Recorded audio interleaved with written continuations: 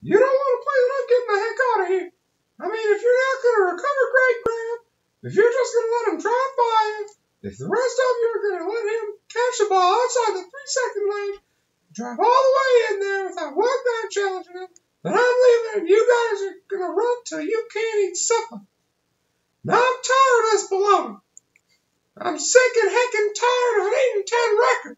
I'm heckin' tired of losing to Purdue. I'm not here to heck around this week.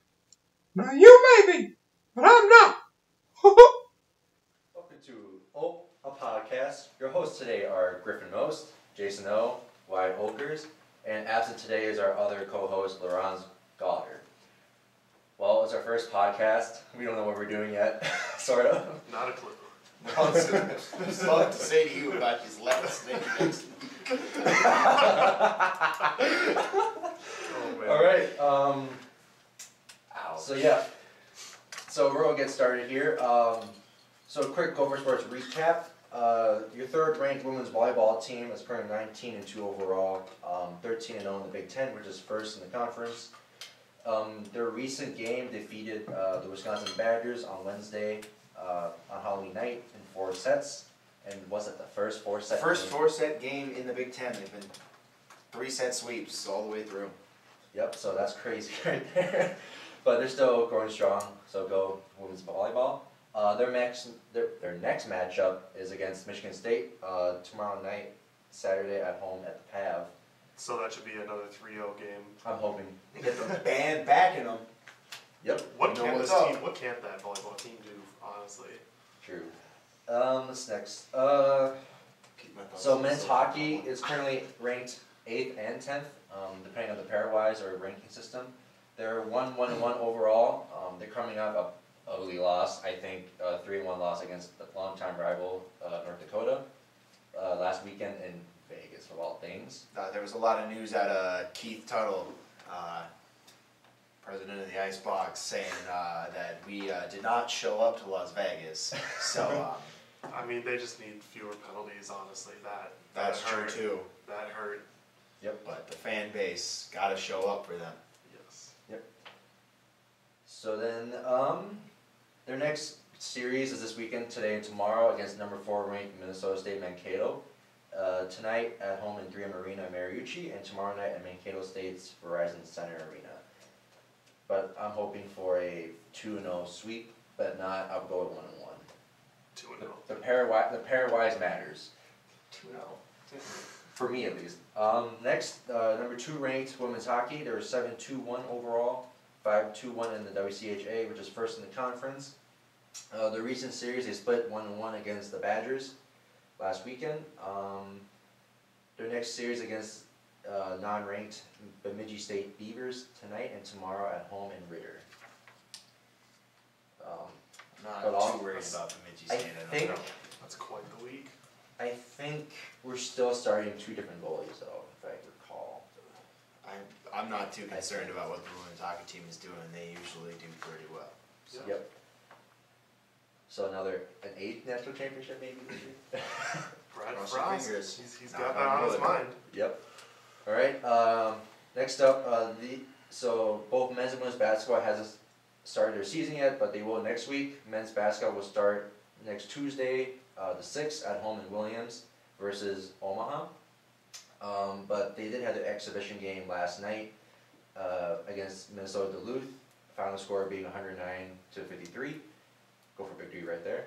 Next up, uh, women's basketball. The Lindsay Whalen era begins uh, their season opener versus New Hampshire next Friday, the 9th, at home in Williams, which is already sold out. Oh, sold out. Sold out. And now we segue to Gopher football. Um, right now we have a four and four overall record, one four in the Big Ten, which is tied for fifth in the West Division. We're, we are also tied with Illinois and Nebraska. Um, the Illini are right now sitting at three and five, one four in the Big Ten. Tied for fifth does sound better than tied for last, Jason. You're right. Yeah. True. Um, Ouch. So we still lead the overall series, and just so you know, um, Illinois was also a charter member, but for some odd reason, we haven't played that many games with them, unlike Wisconsin, Iowa, Northwestern. but we still lead the overall series, thirty-eight to twenty-nine to three. Uh, we're currently in the lead, um, with the, currently on the three-game win streak from twenty fifteen till now. Um, but in our last seven meetings, we won the last six or seven. That one loss was when in twenty fourteen, when they went eight and four and went to the, uh, Citrus Bowl. Which is, you should not have lost that game. I didn't realize that Illinois had a good season in the past ten years. That's, that's, that's on me. Alright, um, so first thing we're gonna start about starting quarterback, uh, number two, redshirt freshman Tanner Morgan is starting this weekend. Um, Zach Annexstad, who was our starter for half the season, is gonna be backup. I agree. That was a great decision by PJ Fleck. I think you should go with the hot hand. Tanner definitely has that hot hand, as he was named Big Ten Freshman of the Week. Um, he had a very accurate deep ball, and I think that is very important going straight forward. Let's not just look at him as the hot hand, let's look at him as maybe the better quarterback between the two. Um, one, Jack Annexstad has spent so much of this season in one way or another injured. The Maryland game is what sticks out to me there. Um, obviously, he shouldn't have been playing that game. He was hurt the whole game. He was definitely not ready. Um, Tanner just does, he does seem a lot more decisive in his throws. Um, Zach kind of just sits in the pocket. I, I don't think he was ready. I think he was thrown into a role maybe he shouldn't have. My opinion has changed. Earlier, I, I did think, during, in, in, at the beginning of the season, Zach was the right choice, but we'll see how the season finishes up. I, I think if Laurens were sitting here, he'd agree with me to say that if we would have seen Tanner Morgan in that Maryland game, we might have seen Tanner Morgan from there through this point in the season. We uh, might not be talking about the quarterback battle between Zach Annexstad and Tanner Morgan. This is for Zach.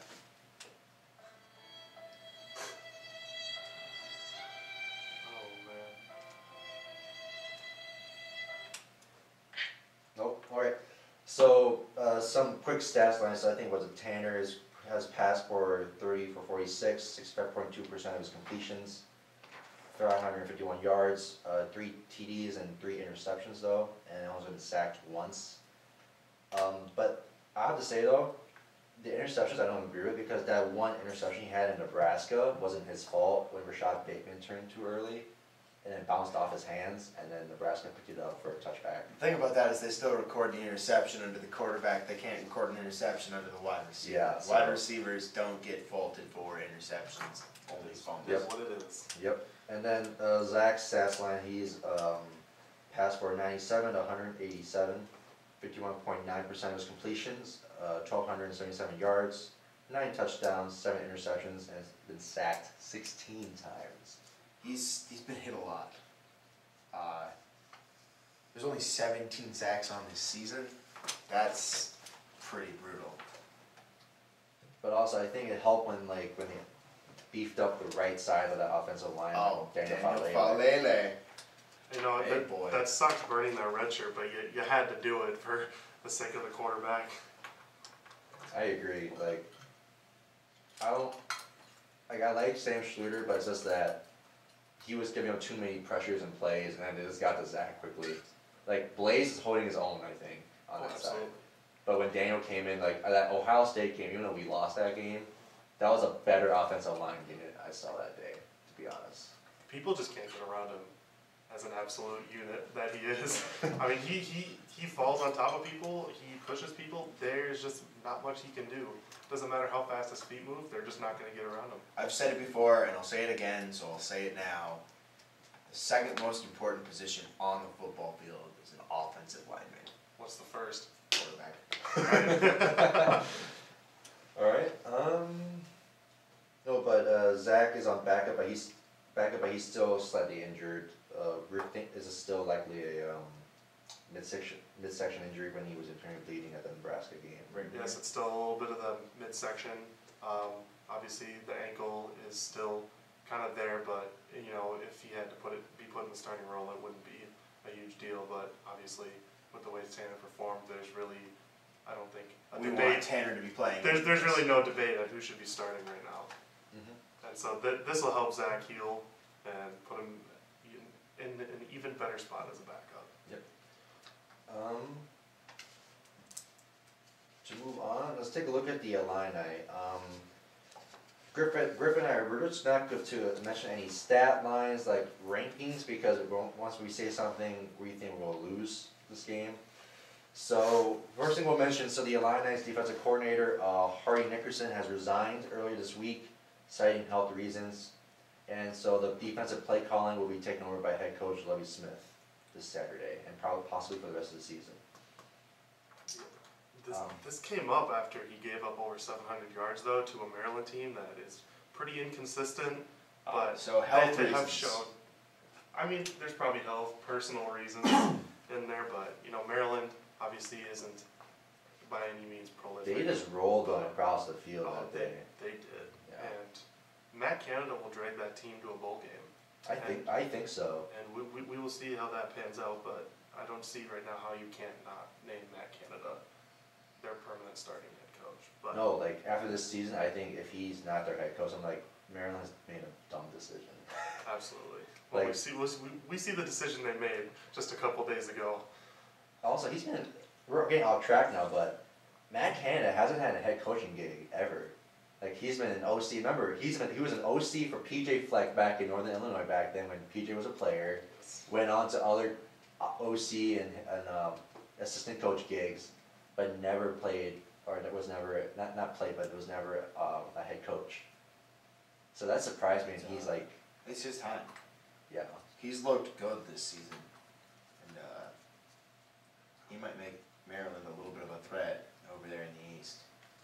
Not that we need another threat in the East. Um, there's that, and then their best defensive players, I think, was it, um, so defensive end, Bobby Roundtree, he's a sophomore, he's one of the, essentially one of their best, uh, pass rushers. Um, What was the stat? I'm trying to find that. I mean, we could talk stats all day, but the fact is, the fact is, Griffin doesn't care about the numbers. I, I- you know, that's not as they're in, important. uh, in the win If, or if loss you're column. ranked 127th out of 129 FBS teams in total defense, you have a problem. Hey Griffin, can you tell me what 127 and 129 are? Uh, let's see. You mean 128 and 129? Uh, you said 127. Yeah, you Illini want- are one twenty-seven. Yeah. but what, what, what are 127 and 129? Uh, numbers. I believe it's Oregon State. Those are uh, those are numbers, Griffin. Don't tell me I can't have my numbers and just throw out some fucking numbers. And then um, in their linebacking core, they're one of the best linebackers is Deshaun Phillips, who again is one of the better with Roundtree and Phillips, like one of the only best pass rushers and stuff like that. Because their linebacking core hasn't been doing great, and their um, secondary is very green as a unit. Like they're being led by um, what was it, Stanley Green Jr. in uh, free safety over there. So not so great for the Illini defense this year. But what is looking okay is their recruiting. They have two top 100 recruits right now, currently committed, Isaiah Williams and Marquez Beeson, a quarterback and a wide receiver respectively. And they all have huge offers from other Power 5 conference schools.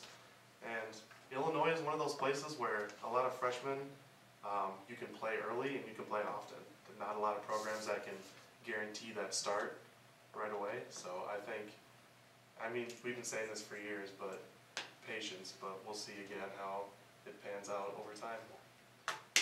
thing that my question is, even though we're Gopher fans, because like you know we've been through like the Gophers has been great in terms of like coaching like you know culture sustainability. I, like I look at Lovie. This is like his third year there as head coach. Do you think Illini fans have the patience with him at this moment after this year? Uh, I don't think Illini fans do. No, I don't believe that. I get I get the feeling that the um, athletics department there might have a little bit more patience with Lovie than the fans want them to. Oh, absolutely. I think Lovie might stick around a little bit I mean, he's, longer. he signed a six-year, twenty-one million dollar deal, I believe, a couple years back. Oh, he did.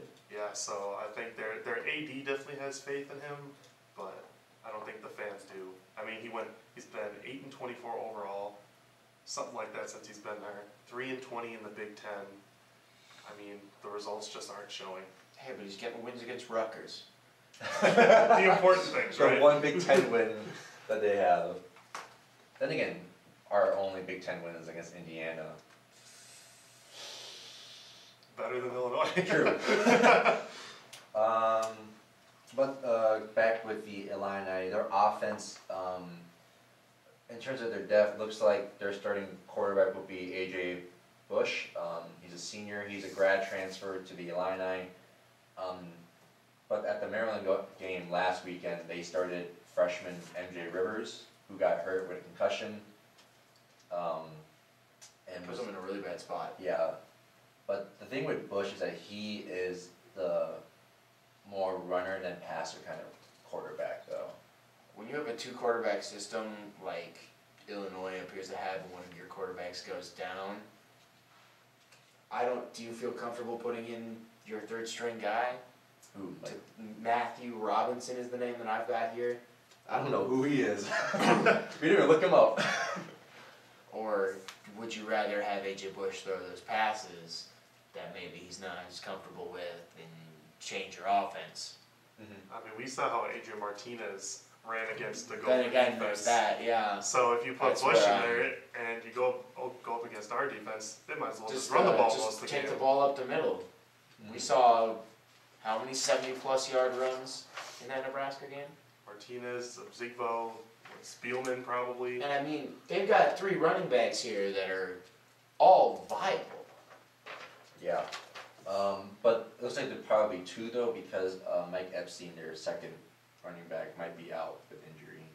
He got hurt before Maryland was out for that game. They've still got Corbin. Corbin Yeah. can still take the ball. Um, I don't know a whole lot about Bonner, but Yeah, we don't know much about him either. Let's hope that that limits the amount that they can actually run. So then, to move on, because now we're just talked about both the Gophers and the Illini. Like, let's think of keys for the Gophers to win, and also not let a meltdown like what happened in the fourth quarter quarter of Indiana happen again. Like, what are your key takeaways for us to win? Well, the Gophers have always been very good in time of possession. So as long as we can keep running the ball, uh, have some very creative play calling. We saw we see the Wildcat all the time with Seth Green. Um, Or those flea flickers with yeah, those flea flickers. As long as we can eat up the clock, um, our points allowed per game is much lower, and we score just a couple more points per game on average for Illinois. So as long as we can keep running the ball and have an okay passing attack, we should be just fine. Mhm. I mean, the big things here, my takeaways are win the turnover battle. We 70%. gotta start winning the turnover battle. It's Because they because I think Indiana recovered three of our fumbles out of five that we made on rainy game and then Well- that one interception. Illinois on their season is winning the turnover battle. Yeah. Somehow they're three and five and we're four and four, even though we're losing our turnover battle. But if we can take this opportunity, sort of turn that around, get headed in the right direction, we might we might show up for the rest of the season. And then obviously winning the field position battle, I think obviously turnovers. Your boy Jacob. Herbers, right? My boy Jacob Herbers, though. 41.5 yards a punt, and that special teams unit is holding the net average to 41.16 yards a punt. That's less than half a yard a return. That's really impressive as compared to Illinois. They have about a five yard gap between punt distance and net average. Uh, I think for me is, since you guys mentioned special, like, you know, wide special teams and the Griffin offense, my thing is the defense. Like Carter Coughlin, Blake Cashman, it's one of our like tackle leaders right there. Of course, we have uh, Nine sacks for Coughlin. yeah, and then also that defensive line with being anchored by O.J. Smith. I'm not sure if he's playing though. He was injured the last game, and Royal Silver. I have They will be heard- crucial, um, but the, the, my concern again is defense. Like, can because I don't know why, but Robb Smith has been inconsistent throughout the season. Like, I think he should not get comfortable with his job yet because like after that Nebraska game, fans were calling for his firing. I mean, it was an abysmal performance. Yeah, Let's look at the fourth quarter of the Indiana game. Yeah. like what happened there? You there give up until like many points. Was it until- Academy 22?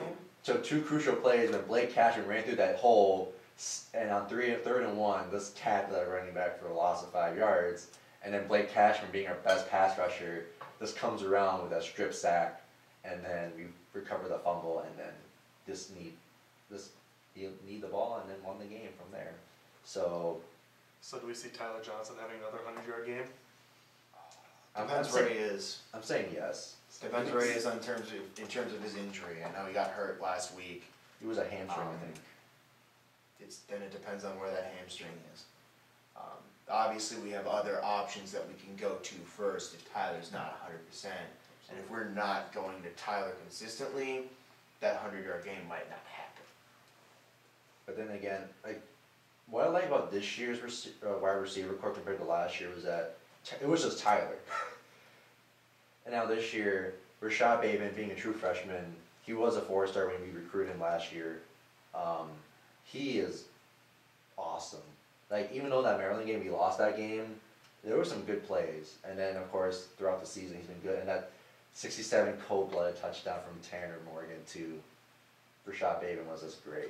What I like That this year about the receiving core is uh, that it's not Conor Rhoda and Demry Croft throwing the football to him. It's uh, it's been Zach Annexstad and Tanner Morgan, and they're much better pure quarterbacks.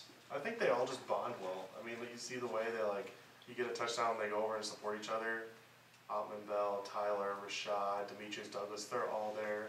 Uh, I haven't seen a tighter knit wide receiving Mhm. core in, in a long time, mostly maybe because we haven't had some standout receivers. Yeah. But Because I think when we came here as students, I think our first year, KJ Maye was a senior. It was a senior that year. After that, it was just Drew Wolitarsky, and then a little bit from Rashad Still, and then, well, of course, Drew Wolitarsky is trying to get in the NFL, and KJ Maye, and then um, still transferred out of the program after the first year with PJ. So, you know, there hasn't been much in terms of like our receiver core. But we for, like we mentioned already two names, Johnson and Rashad Bateman, but like we forget there's Chris Autman-Bell, Mhm. who came back from injury.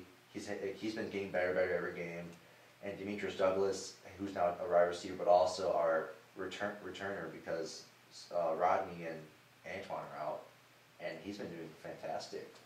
absolutely. Well, let's not forget about Seth Green. And Seth Green, Seth- Wildcat. Seth Green is technically listed as a wide receiver, but he's kind of doing it all. I, I thought they were moving him to tight end, so that, was, that was that was the case at spring ball. Like I saw, I was at one of the spring practices. Yeah. I saw uh, Seth Green with the tight ends like Ko Kieft and uh, Mhm. Bryce Witham, just like doing blocks, and then all of a sudden, like when we come in the season, it's like, wait, he's listed as wide receiver, and then that Wildcat at the first game He's Mexico just too athletic to not have doing something like that. I totally agree. My question is, can he, can he, how much can he throw the football, can we get him to throw the football more, especially this week where we're pretty sure we got to win? Well, let's see what Kirk draws up. Kirk Ciarrocca. Can't can't really give an accurate representation when he's only thrown a couple times this year. One of them being a touchdown against Fresno State, the other being an interception. Mm-hmm. I mean, if, Brutal if, if you want him to pass, he can do that. If you want him to run, he can do that. Like the dude can do anything. Like Wyatt said, athletic. And shout out to Tanner Morgan because he was our first 300 yard passer since October of 2015. The Mitch Leidner era. The Mitch Leidner era? But that was I the game. but it was the Michigan game. I don't want to be reminded of that game because like Oh God, that's the Mitch. Why? we don't need that in this podcast. A good performance is a good performance. Yeah, but that, that, that did not win us Well, the game uh, though. Mitch Leidner put up a good performance, but what about uh, The last interim head seconds. coach Tracy Claeys? Wait, I no, mean, that at was least, he, at least he could run a defense. That wasn't 10 seconds, that was like two minutes, just standing around doing nothing. Sorry, uh, that was seconds ten standing seconds of actual football. Uh, two minutes of uh, game time. And he had to throw the ball into the end zone rather than run it and get a touchdown. Uh, No, because you remember, you guys remember that? They're just standing there doing nothing, like that in a huddle, not getting a play call in, and just stood there, wasted like eight, eight the clock. Like, they do know they just ran inbounds, so then the clock just ticks, ticks, ticks, ticks. And then, yeah, that one was that was pretty brutal. yeah, sorry for the. Anyway, let, fans. let's just end that And that Let's little end that tangent little tangent. Yeah. and uh, move on to something else, a little bit more positive. Yeah, so for all uh, our fans, just don't mention that Michigan game and we'll be fine. Alright, moving on. Um, so we're going to our next segment here. So we don't know what to talk about now since we just ended on that bad note. Um, let's, let's have some hot takes going on. Oh God, give me your hot takes. all right, uh, DJ Dirk. oh, So we were talking about uh, Matt Canada, like he should be the next head coach because DJ Durkin got reinstated on Tuesday and then got fired on Wednesday. I, before today, didn't know that DJ Durkin had been fired. Um, I'm gonna be honest about that. I was completely clueless, but uh, probably the right call. Um, hopefully, Canada steps in and takes that job. I don't think it's that hard of a take to say that Matt Canada has kind of earned that job over the course of this season. He's got some. He's got some big wins. He got Texas. He absolutely stumped us. And the Illini.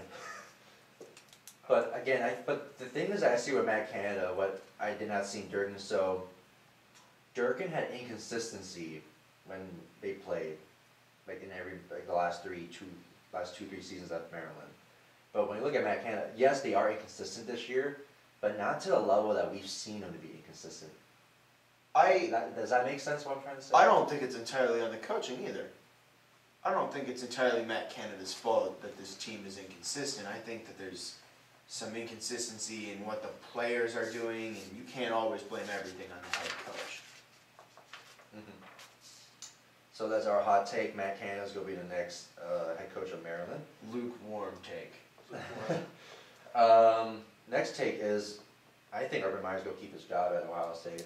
Oh, I, I don't see that as a. How is that hot at No, all? that's not No, hot at That's all. ice cold. it's, no, it's ice cold, but the reason I bring that up is because um, he just there was a, a news article from Yahoo uh, Sports that they did about um, his health issues because he has um, a constant cyst. I think he was diagnosed with like 20 years ago, and it was because of that cyst or medical condition that he had was why he was forcibly retired from coaching in Florida.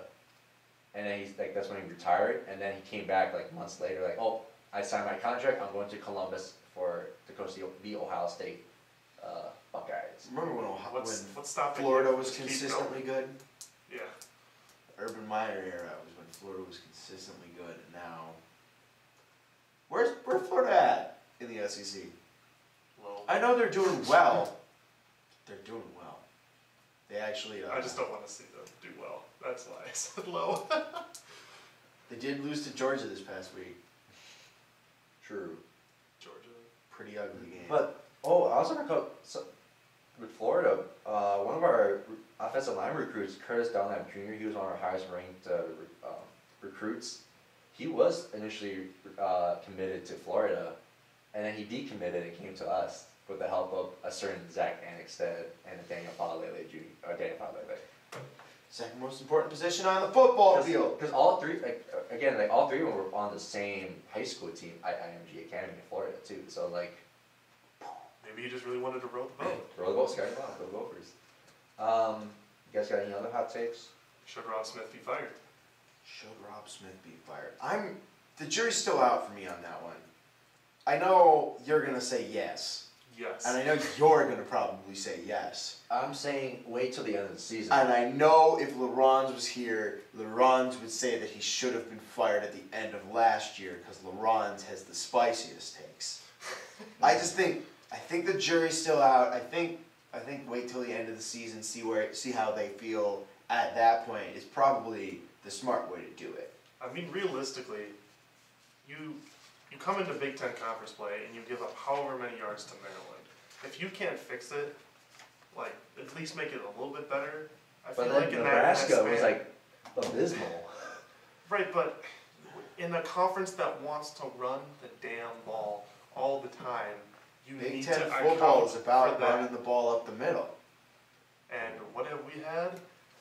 Swiss cheese. Got to shore up that defensive tackle position.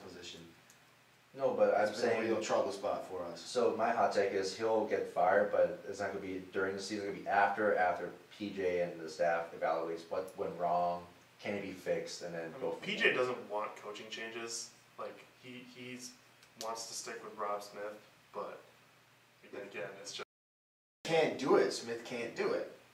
came from Arkansas. Arkansas is not doing so well right now. Arkansas hasn't done well in a long time. Yeah. Except that one season when he had like a really good senior group. Uh, well, the one season where Ryan Mallett was throwing the football back in I don't know 2010, whatever year that was. All right, uh, let's take one more hot take and then we gotta wrap this up. You got one? Not off the top of my head. Do you got one? Um, you want to talk about the Big Ten West? No. Who you got winning the Big Ten West, Griff? Northwestern. Northwestern. I think it's a little bit spicy. What? I think it's a little bit of a spicy take. Northwestern winning the West. You I want mean, Wisconsin? They got some grit. The players got grit. Where's Iowa sitting? That's Where's one. Iowa sitting in the Big Ten West? Pretty high up. They've been they've been real Are quiet. they like seventeenth maybe? They they lost to 15th? us. They lost to Wisconsin, but what's that mean? Hold on for a moment here. I mean, Iowa's, I de- bet they Iowa's defense has stepped up. Anthony Nelson has six and a half sacks. I He's bet they still the got a game against Northwestern too. Oh, absolutely, absolutely they do. Iowa's uh, one of those teams. If you would have asked me at the beginning of the season, I would not have said Northwestern. But If you would have asked me at the beginning of the season, I would have said Wisconsin hands down. really, Uh, if you you're asking me now, I think uh, Wisconsin might be in a little bit of hot water there. yeah. So Big Ten Chris West. Ash. So here's the Big Ten West. So Northwestern's first, next is Wisconsin, third is Iowa, fourth is Purdue, and then fifth is Nebraska, Minnesota, and Illinois. Well, Purdue's Purdue's getting themselves in trouble. They're losing games that they just shouldn't be losing. But then somehow beat the Ohio fourth ranked Ohio State at the time. oh, you have a player like Rondale Moore. Purdue You're should gonna do at, some damage. Purdue's what four and four. Four and four. Um, they're three and two in the Big Ten. Purdue's four and four, and their record is absolutely not where it should be. They should have at least two more wins. And Don't commit personal foul penalties within inside a minute. Yeah, because like I remember the first three games of the season, um, Purdue, like blew it. they like they no they were zero and three in the beginning of the season. Yep. Should they have lost to Northwestern? Wasn't Northwestern No, 0 3 at the beginning of the season too? no, because Northwestern beat them in the first. So it's one and two. two. Northwestern lost all of its non-conference games, ah. Yep. and I believe Northwestern hasn't lost in the Big Ten yet. Nope, they lost one game. Oh, they lost to Michigan, didn't they? Michigan. So they're five and one, but they're still leading the Big Ten West think- by like two games against from Wisconsin. Northwestern has a serious chance to win the Big Ten West. It's just a matter of they've got Iowa on the schedule at some point. Mm-hmm. If they can take down Iowa, they're in a really good spot. And also, here's the next. uh, Since we just talked about the West, the East, Michigan's five and zero in Big Ten play. Michigan's only loss is against Notre Dame, and Notre Dame's been a really good football team. Mm-hmm. Because Ohio State's now four and one because of that loss to uh, Purdue. I think Michigan's defense is actually ranked. Michigan's uh, got a what, easily top five. I, I, they might be number one. Jim Harbaugh's got a really good football team about four years coming after coming into this program.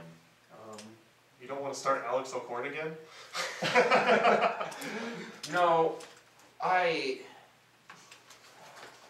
I'm so not sold on Jim Harbaugh just because it's his fourth season.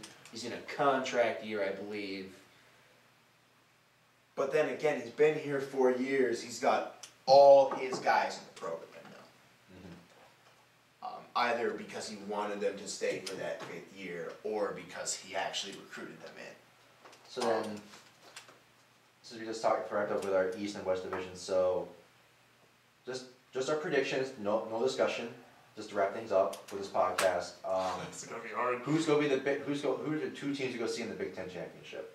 I'll say mine first, if you guys want time. I'm saying Michigan and Northwestern, where we're currently sitting in the season. How far back is Iowa? They're three and two right now. They're two games behind uh, Northwestern. Oh.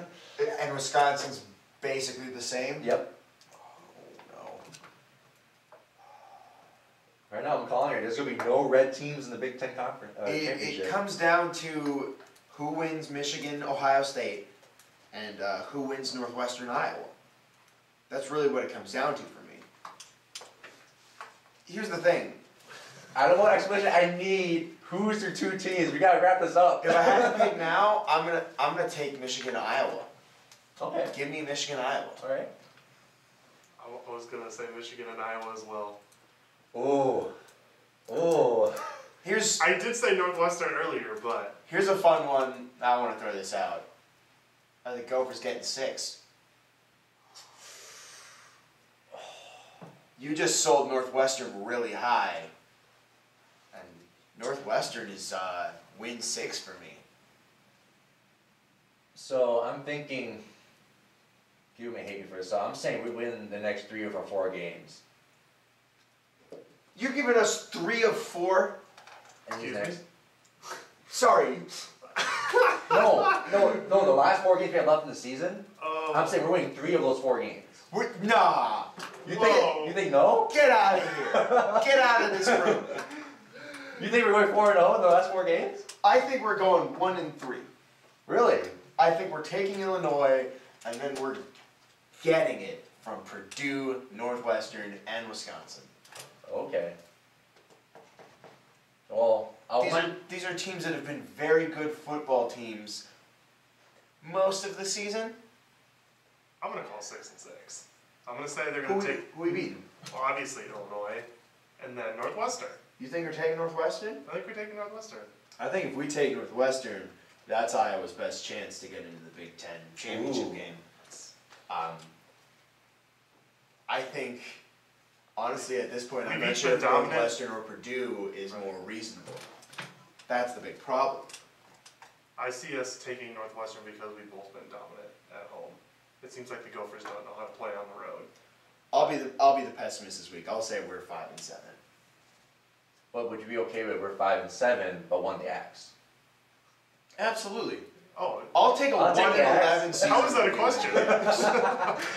Well, there's that, folks. So you'll hear we, we, we all agree that if even we did not go bowling, but we won the Axe, we're okay. Worth it. Worth it. all right. That's so the only trophy I need. I'd like to thank you for everyone for tuning into the first ever episode of Ope, a podcast featuring myself, your host Jason L, along with Wyatt Oelkers and Griffin Most. And hopefully next time we can get Laurent's here and get his hot takes and input for this podcast. Man, that boy's spicy. He's with us in spirit. He is with us in spirit. Um, Get that GoPro. Yeah, there we go. it's right there. All right. So thank you for tuning with us. We'll be doing maybe another episode next week for the uh, Purdue matchup, but we'll see you guys next time. Thank you.